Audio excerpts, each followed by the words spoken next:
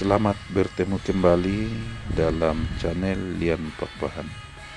Kali ini kita akan meliput kembali anggrek Papua, yaitu jenis anggrek macan Papua. Dalam bahasa ilmiahnya, anggrek ini dinamai Gram Gramatopilum speciosum. Anggrek ini tumbuh di hutan-hutan belantara Papua dan sudah lama ditemukan dan telah diberi nama yaitu Gramatopilum papuanum. Ang anggrek ini termasuk anggrek tebu yang merupakan anggrek terbesar dan paling berat di antara jenis-jenis anggrek yang ada. Dalam satu rumpun dewasa anggrek ini bisa mencapai ratusan kilo bahkan satu ton. Dan mempunyai malai hingga 3 meter. Dan diameter malai mencapai 1 sampai 2 cm itulah sebabnya orang memberikan sebutan untuk anggrek ini adalah anggrek terbesar terberat dan merupakan anggrek raksasa. Anggrek macan ini paling baik ditanam di dalam keras ataupun digantung di dalam pohon agar bisa terkena sinar langsung dengan matahari. Anggrek macan ini menyukai daerah dengan suhu antara 13 sampai 30 derajat Celcius. Kita lihat daunnya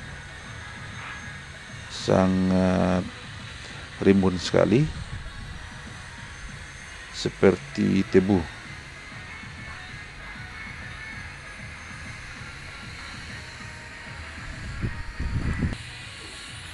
Ini pot yang telah kita siapkan untuk menanam yaitu terbuat dari kayu besi dengan ukuran panjang 1 meter dan tinggi kurang lebih 70 cm nampak anggrek macan ini lagi berbuah. Buahnya menyerupai buah belimbing asam.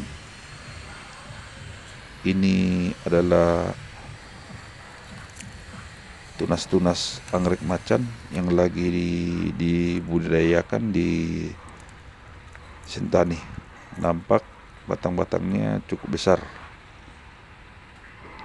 Kalau kita lihat ini dia mediumnya. Rumpunnya sangat lebat bertunas. Dan kalau kita lihat anggrek ini sangat bagus sekali kita lihat buahnya menyerupai buah belimbing ya daunnya sangat hijau sekali. Ini adalah pot pot yang kita siapkan dengan uh, yang cukup besar. Karena menanam jenis anggrek ini harus mempunyai tempat yang besar. Karena rumpunnya juga cukup besar kita lihat dari jauh seperti semak belukar atau rumput gajah sangat indah sekali bagi teman-teman yang ingin mengetahui lebih jauh tentang anggrek macam Papua ini silahkan memberikan komentar di channel ini. Jangan lupa subscribe, like, dan share. Demikian saya infokan kepada rekan-rekan yang telah menonton. Sampai ketemu di lain kesempatan. Terima kasih.